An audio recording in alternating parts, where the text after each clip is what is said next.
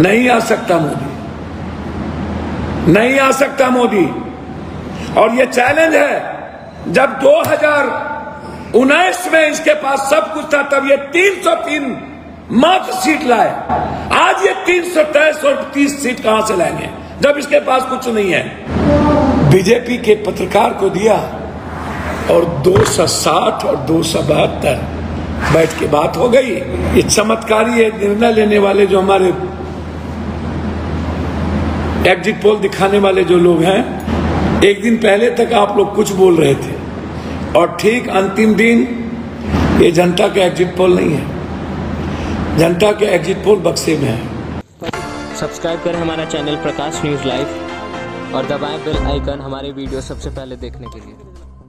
लोकसभा चुनाव के exit poll आने के बाद से जो है बिहार में काफ़ी सियासत काफ़ी तेज है। ऐसे में कांग्रेस नेता पप्पू यादव ने कई बड़ी बातों को कहा है। उन्होंने फेसबुक पर लाइव आकर प्रधानमंत्री नरेंद्र मोदी सहित कई लोगों पर निशाना साधते हुए कई बड़ी बातों को कहा है। उन्होंने साफ़ तौर पे कहा कि उनके पास से एग्जिट पोल के लेकर जो है डाटा दिया गया और उसके बाद टीवी चैनल के द्वारा जो है उसे प्रकाशित किया गया है और कई बड़ी बातों को उन्होंने कहा है। आगे क्या कुछ कह रहे हैं पप्पू यादव? कांग्रेस नेता, खुद सुनिए। सब्सक्राइब करें हमारा चैनल प्रकाश न्यूज़ लाइव और दबाएँ बेल आइकन हमारे वीडियो सबसे पहले देखने के लिए। कि जिस इंडिया गठबंधन और मोदी के खिलाफ लड़ने वाला जो लोग है, उनकी मानसिक स्थिति को कमज़ोर कर सके, मोरल को खत्म कर सके। लड़ने की हिम्मत खत्म हो जाए। बाहर में जो इंडिया गठबंधन के लोग हैं, वो कहे अरे छोरो मोदी, आ रहा है, क्या लड़ना? नहीं नहीं आ सकता मोदी। नहीं आ सकता नहीं आ सकता मोदी। नहीं आ सकता मोदी।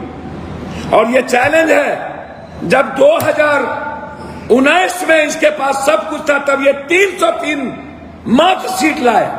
आज ये तीन सौ तेईस और तीस सीट कहाँ से लाएँगे? जब इसके पास कुछ नहीं है। सीधा है ये मेरा सवाल। ना चमत्कार है, ना मैजिक है। ना मोदी का कोई पक्ष है, ना मोदी के पास कोई मुद्दा है, ना राम, ना हिंदू ना हिंदू मुसलमान, ना लव जहाज़, ना दंगा, कुछ नहीं, ना यूथ, ना महिला।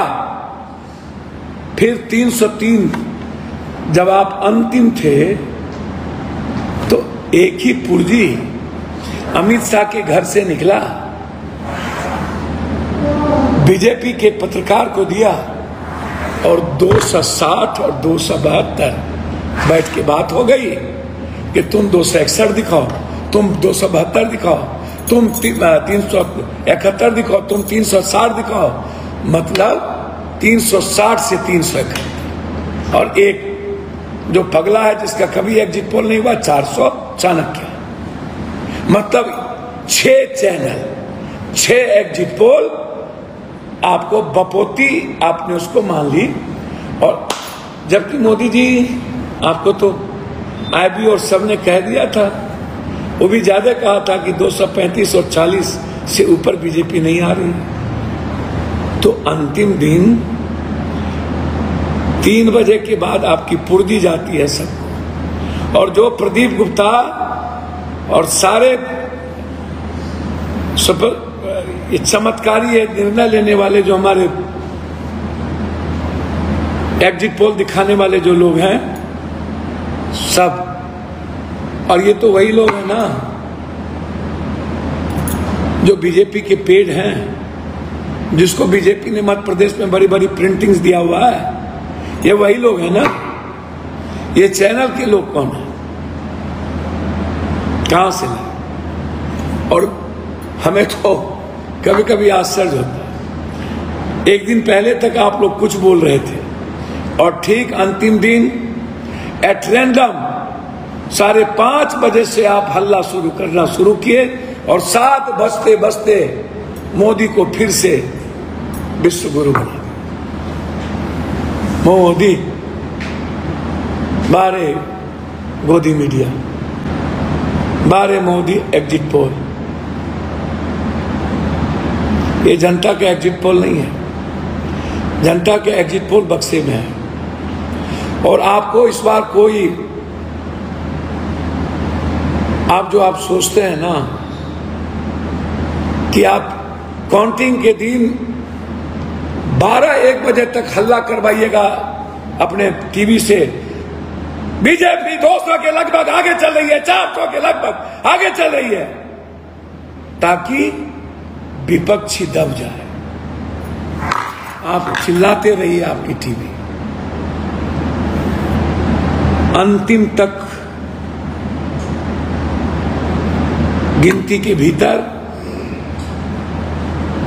जब तक सत्रह सी फॉर्म नहीं मिलेंगे जब तक जो सत्रह सी पर प्रोजाइडिंग अफसर ने दस्तखत करके जो नंबर दिया वो नहीं मिलेंगे।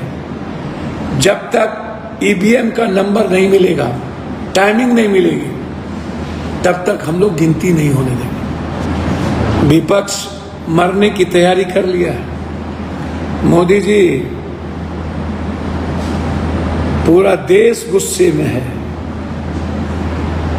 आपके कारनामे में लोकतंत्र को बचाने के लिए सड़कों पर मरने की तैयारी न करें ये याद रखिए।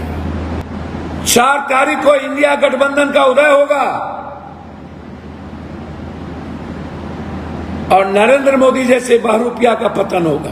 आपने सुना कि साफ़ तौर पे पप्पू यादव ने प्रधानमंत्री नरेंद्र मोदी पे जमकर बरसे और कई बड़ी बातों को कहा है। ऐसे तमाम खबर अपडेट देखने के लिए प्रकाशन लाइव पे बने रहे। तब तक याद दीजिए। जय हिंद, जय भारत।